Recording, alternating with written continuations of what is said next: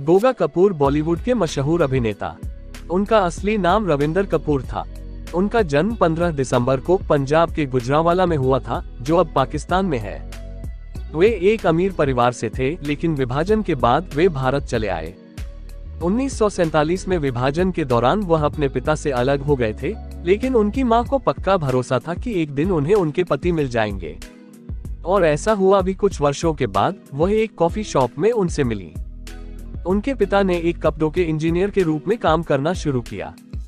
शुरू में अपने पिता की तरह गोगा कपूर भी टेक्सटाइल इंजीनियर बनना चाहते थे। लेकिन उनकी किस्मत में कुछ और ही लिखा था। जल्द ही अभिनय में उनकी रुचि पैदा होना शुरू हुई। अंग्रेज़ी में नाटक से शुरुआत की और जल्द ही उनके अभिनय कौशल को पहचान मिली और उन्हें 1971 में आई ज्वाला में एक छोटी भूमिका मिली। इसी दौरान एक कुआरी एक कुआरा नाम की फ़िल्म मिली जो 1973 में रिलीज़ हुई थी।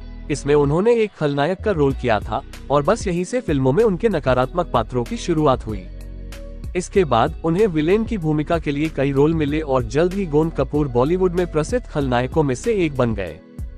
अमिताभ बच्चन के साथ तूफ़ान और अग्निपथ शाहरुख खान के साथ कभी हाँ कभी ना में निभाए गए उनके रोल जैसे हमेशा के लिए अमर हो गए।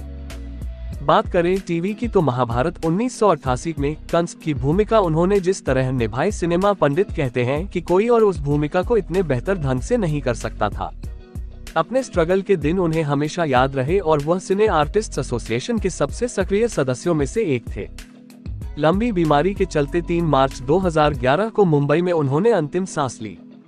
उम्मीद है वीडियो आपको पसंद आएगा। देखने के लिए बहुत बहुत शुक्रिया।